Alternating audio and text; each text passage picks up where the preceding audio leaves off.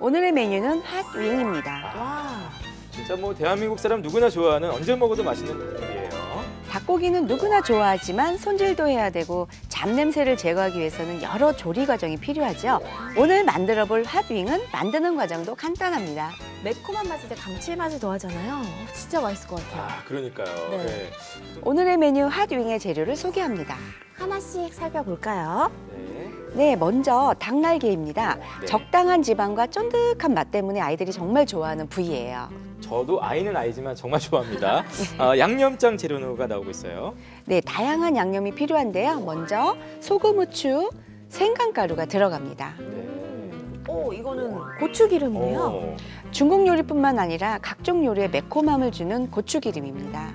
먼저 닭날개를 50도 정도의 따뜻한 물로 씻어줄 거예요. 음, 끓는 물이 아니라 좀 미지근한 물로 하는 거네요. 네, 따뜻한 물로 씻어주면 불순물과 나쁜 기름이 빠지고요. 잡냄새가 전혀 나지 않습니다. 오히려 뽀송뽀송해지는 느낌이고요. 뜨거운 물에 삶지 않아도 되니까 아주 간편하게 닭 요리를 할 수 있습니다. 자, 이제 물기를 제거해 주네요. 특별히 물기를 꼭 제거해야 되는 이유가 있을까요? 물기를 제거 안 하면요. 예. 양념이 잘 배지도 않고요. 쫀득쫀득한 맛을 낼 수가 없습니다. 그래서 물기를 완전하게 제거해 주시는 게 굉장히 중요합니다. 음, 이제 양념장을 만드는 거죠? 양념장이 어떻게 보면 hot wing의 하이라이트죠. 네. 네, 준비한 양념장을 차례대로 넣을 거예요. 핫 칠리 소스, sweet 칠리 소스, 유기농 설탕, 네. 어, 다진 마늘, 간장 넣어주시고요. 예. 고추기름 넣어주세요. 생강가루와 후추, 소금도 넣고요. 고추장도 들어갑니다. 그리고 무염버터 들어가고요. 청주도 살짝 넣어주세요. 아, 네. 들어가는 게 생각보다 꽤 있네요. 이제 그 재료들 모두 잘 예. 섞어줍니다. 골고루. 네, 골고루 섞이도록 잘 저어주세요. 네. 자, 이제 손질해 놓은 닭날개를 냄비에 넣습니다. 닭고기 사이로 간이 잘 배도록 양, 양념장을 골고루 묻혀줍니다. 아, 저거 할 때 빈 데 있으면 안 돼요. 저거 네. 다 묻혀줘야 돼요. 네. 이대로 뚜껑을 닫는 건가요? 네, 이렇게 6시간 이상 재워두면 닭고기 사이로 간이 배서 더욱 맛있습니다. 네. 음. 자, 이제 재워둔 닭고기를 하나하나 꺼내기 시작합니다. 네, 양념에 재운 윙을 오븐에 구울 건데요. 예열된 200도 오븐에 10분 정도 구울 거예요. 오븐이 없으면 어떻게 해야 될까요? 오븐이 없으시면 프라이팬에 핫윙을 돌려 담으시고요.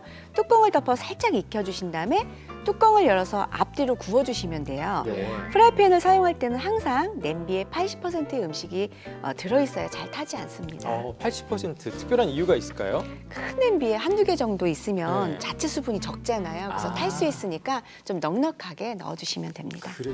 오븐에 들어간 지 10분이 지났는데요. 이제 뒤집어서 10분에서 15분 정도 더 구워줄 거예요. 자, 중요한 게 앞뒤를 노릇하게 구워줘야 될 것 같습니다. 네네.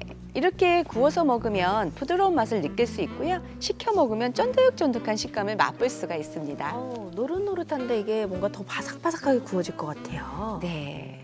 이제 다시 오븐을 뚜껑을 닫고 10분 정도 기다려 주시면 됩니다. 음. 자, 맛있는 기다림 이후에 드디어 짜잔 하딩이 완성이 와. 됐습니다. 네. 한 입에 쏙 들어갈 수 있고 먹을 수 있는 하딩인데요. 핑거푸드로 드셔도 좋습니다. 음, 뭔가 오븐에 구워서 기름기가 쫙 빠졌을 것 같아요. 네. 매콤하고 담백해서요. 신년 파티 메뉴로 아주 좋습니다. 그러네요. 굳이 뭐 배달을 시키지 않아도 집에서 금방 또 이렇게 만들어서 건강하게 먹기 아주 딱 좋은 하딩이 만들어졌습니다. 네.